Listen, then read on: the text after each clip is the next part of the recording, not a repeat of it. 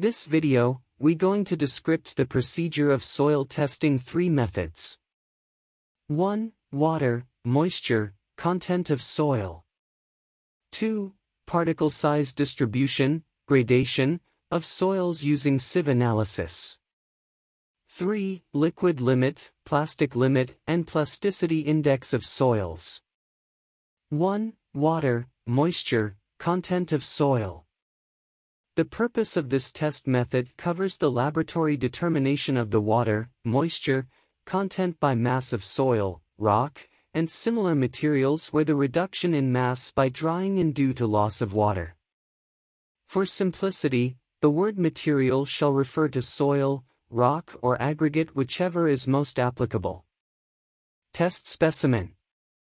A specimen weighing less 200 gram and containing a relatively large gravel practice, it is appropriate not to include the gravel practice in the test specimen. Procedure Determine and record the mass of the clean and dry specimen container and lids. Place the moist test specimen in container and record the mass with moist specimen.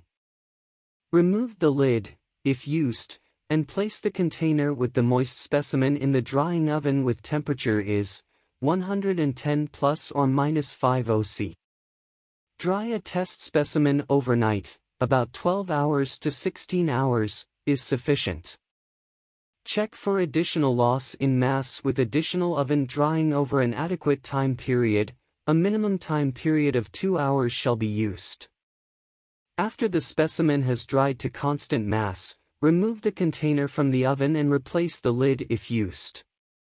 Determine the mass of the container and oven-dried specimen using the same type balance and record the value. Calculate and determine the water content of the material. 2. Particle size distribution, gradation, of soils using sieve analysis. Soils consist of particles with various shapes and sizes. This test method is used to separate particles into size ranges and to determine quantitatively the mass of particles in each range. This test method is not applicable for following soils. Soils containing fibrous peat that will change in particle size during drying oven, washing or sieving procedure. Preparation The samples. Prepare soil sample to air dry or put into low temperature drying oven, not to exceed 60 OC. Select the minimum sample needed then soak with dispersant, sodium hexametaphosphate with water, for 24 hours, except coarse-grained soils, soak with water. At the end of soaking period, continue washing the specimen, material, on the number 200, 75 micrometer, sieve until the wash water is clear. Place the clean specimen into the container, and then put it into the drying oven with a uniform temperature, 110 plus or minus 5 OC, for 24 hours. Test procedure. Remove specimen from the oven and cool it down for a second, and then record the sample dry mass, gram or kilogram. Pour the dried washed material from its container on to the top of the sieve stack. Put the arrangement of sieve set on mechanical sieve shaker then operates a time period ranging from 10 to 20 minutes. Gather all the specimen that retained in each of the sieve size and then record the specimen mass, gram or kilogram. Determine percentage passing of soil sample on each sieve and report the results. 3. Liquid limit, plastic limit, and plasticity index of soils. These test methods cover the determination of the liquid limit, plastic limit, and the plasticity index of soils.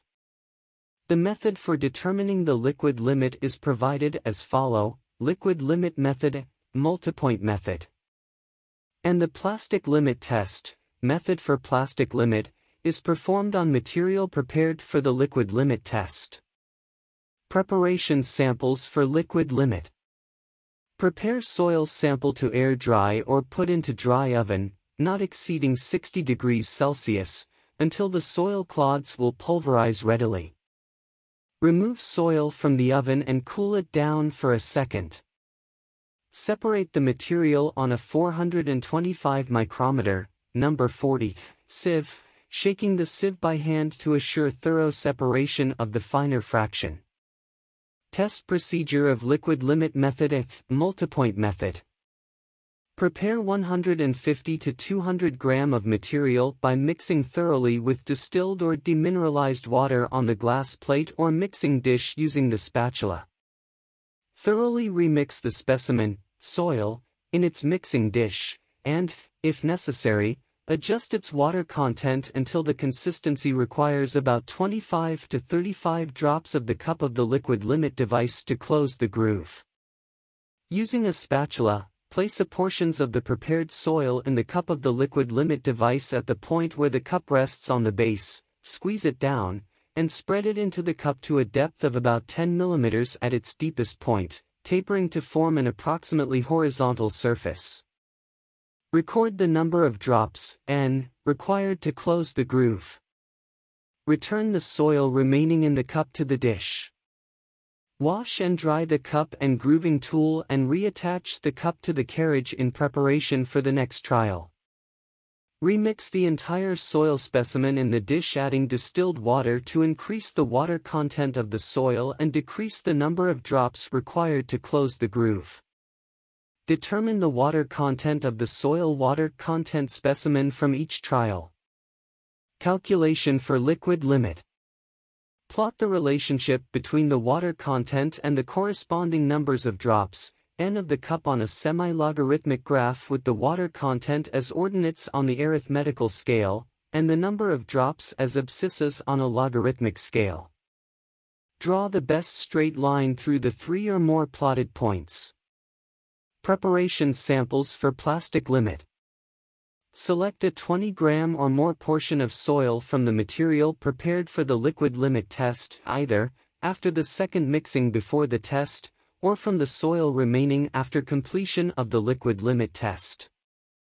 Reduce the water content of the soil to a consistency at which it can be rolled without sticking to the hands by spreading or mixing continuously on the glass plate or in the mixing slash storage dish.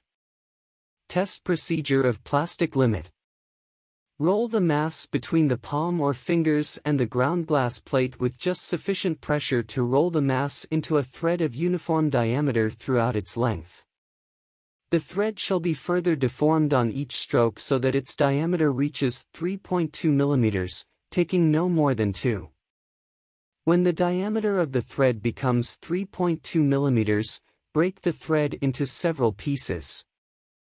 Squeeze the pieces together, knead between the thumb and first finger of each hand, reform into an ellipsoidal mass, and re-roll.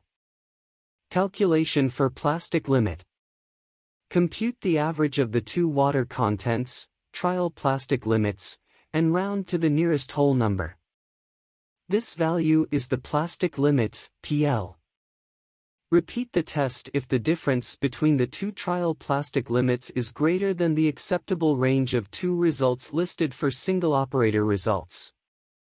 Calculate the plasticity index, PI by liquid limit, plastic limit. Thank you for watching this video and please help to subscribe our channel.